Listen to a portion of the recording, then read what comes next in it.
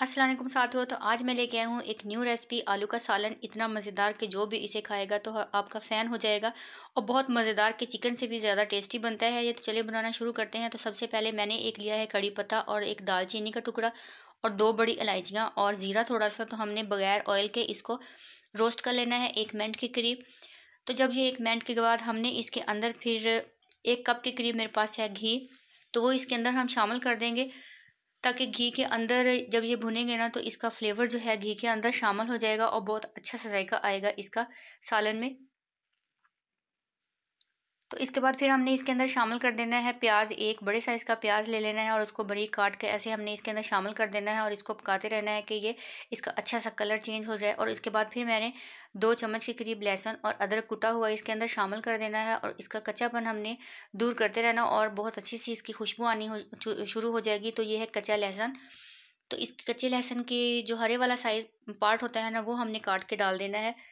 तो इन सारी चीज़ों को अच्छी तरह से मिक्स करेंगे और इसके बाद टमाटो का पेस्ट है मेरे पास। दो साइज़ के मैंने टमाटर लिए थे और उसका पेस्ट बना लेना और वो शामिल कर देंगे और इसको पकाते रहेंगे कि ये सारी चीज़ें आपस में मिक्स हो जाएँ और फिर इसके बाद हम इसके अंदर शामिल कर देंगे। तो दो मिनट पकाने के बाद फिर मैं इसके अंदर शामिल कर देती हूँ ये शिमला मिर्च है रेड शिमला मिर्च का पाउडर और इसके बाद फिर ये नमक है मेरे पास आधा चम्मच।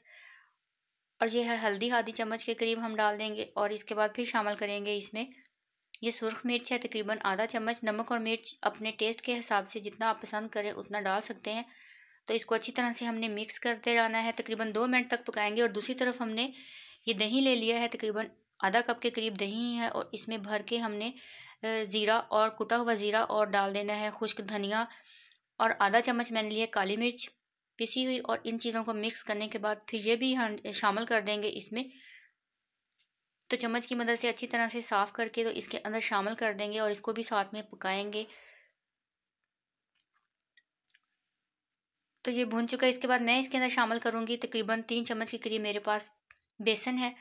तो बेसन को छान के वो इसके अंदर शामिल करेंगे तो जब बेसन हमने शामिल किया तो इसका इतना अच्छा ज़बरदस्त किस्म का टेस्ट बनेगा।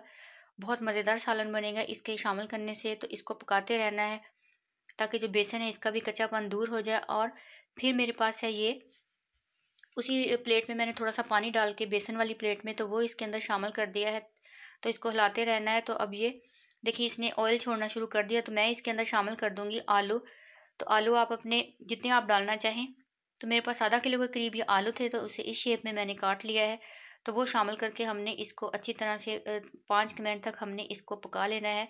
तो इसके बाद फिर हमने इसके अंदर शामिल कर देना है।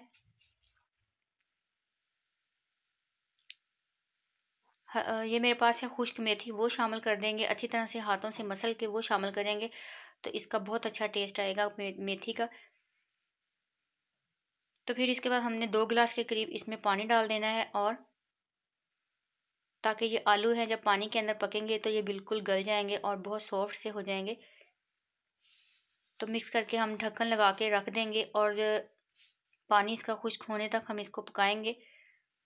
तो इसका पानी तकरीबन खुश्क हो चुका है तो ये बन चुका है बहुत मज़ेदार सा सालन और हम एंड में इसके ऊपर सिर्फ़ हरा धनिया डाल के इसको गार्निश करेंगे। तो गाइस बहुत ही ज़बरदस्त रेसिपी है तो आप जब बनाएँगे तो आप प्लीज़ मुझे खुद कमेंट्स में बताइएगा कि कैसी लगी।